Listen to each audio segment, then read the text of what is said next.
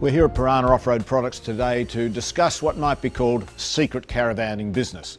How to keep your life, your marriage and your level of comfort intact away from all the conveniences of home and a 240 volt power point. So to help explain how to keep this level of comfort going off the beaten track, we're going to talk to an expert, Allan Johnson, the owner and founder of Melbourne's Piranha Off-Road Systems. And Piranha is one of the world's largest manufacturers of dual battery and other alternative 12 volt systems. And we've also brought along the very latest Coronet caravan, the XT2 5050, the latest off-road product, exactly the sort of van that many couples might take to enjoy their great Australian adventure. Allan Johnson is the go-to guy, if I could say that, the, that people go to when they want 12 volt power solutions.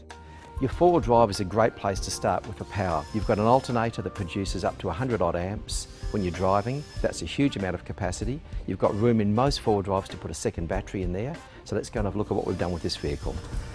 A dual battery system means that those batteries are electrically separated from each other. Now if we take a 200 series Land Cruiser, we actually have a battery here and a battery here. And those two batteries, which are indeed two batteries, are actually electrically connected as one big battery, giving you a higher starting capacity. Now in this particular vehicle, what we've got is the original starting battery over there, and here we have our auxiliary battery.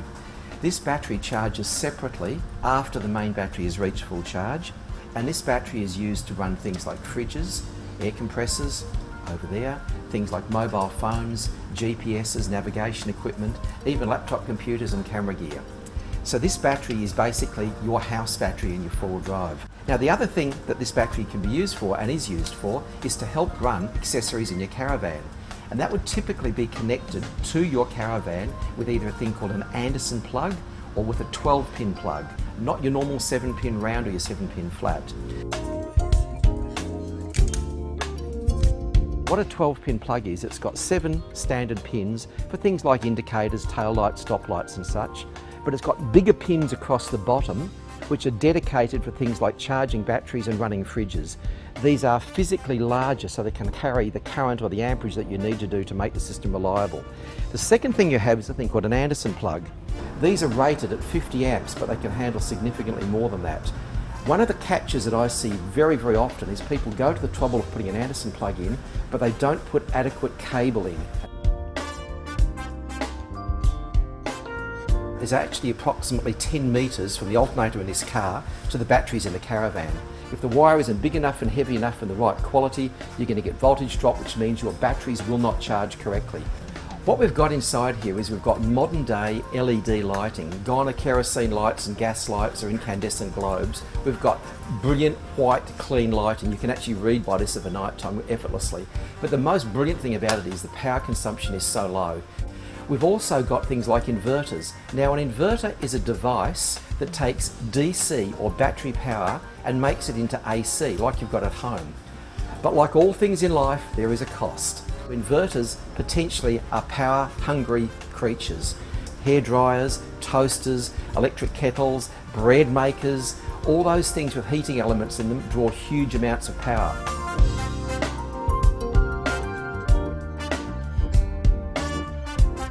Now in this van we've actually got two batteries in there and they're deep cycle batteries and they're typically about 100 amps each so you've got about 200 amp hour.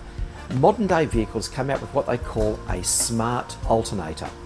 A smart alternator basically turns the alternator off or turns it to a lower output whenever it possibly can. One of the ways that aftermarket people can cope with these smart alternators is to put in what we call a DC to DC charger. This has more than one benefit. A DC-DC charger will take in whatever voltage we have available and it will step it up to exactly the right voltage for the chemistry of the battery that you have in your vehicle. The one limiting factor with these type of devices is you can't get really high capacity. So if you think about it, if you've got a maximum of say 20 amps or 30 amps, whatever it might be, and your alternator, like in my car, can put out 100 amps, you're actually cutting back the amount of energy going into your batteries, but you are getting it at the right voltage, and that's the important thing. This will compensate for voltage drop. You put this next to the batteries in the van, it doesn't matter what's coming into them, it will step it up. first most common type of battery you have is your flooded wet cell battery. Been around for over 100 years and it's your conventional ordinary battery. So they come in both deep cycle batteries, they come in hybrid and they come in cranking batteries. And of course in our modern four-wheel drive, fantastic for running our fridges. The next type of technology along is your calcium type batteries. Your calcium batteries actually charge a little more quickly, have a longer shelf life, cost a little bit more money and a little bit better than your wet cells.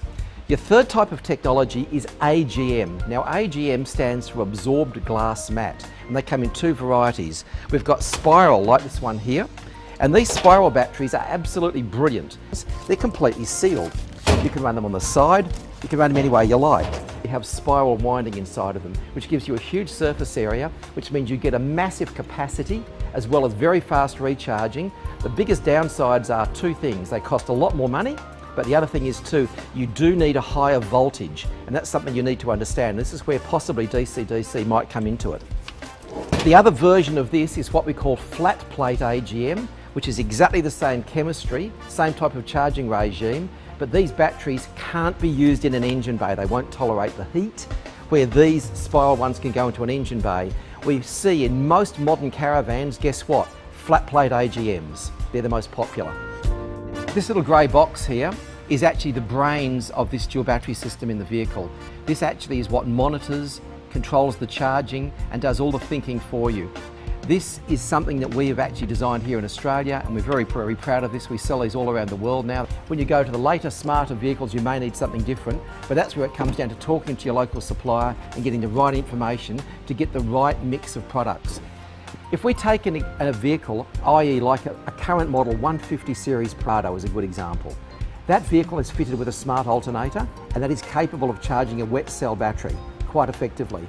A tray would be about $200, a battery probably sub $200 for a flooded wet cell, $165 for charge control unit, some cabling, plugs and sockets and a battery monitor. That would run your fridge for probably an Engel fridge or a Waeco fridge for between two to three days and do a beautiful job.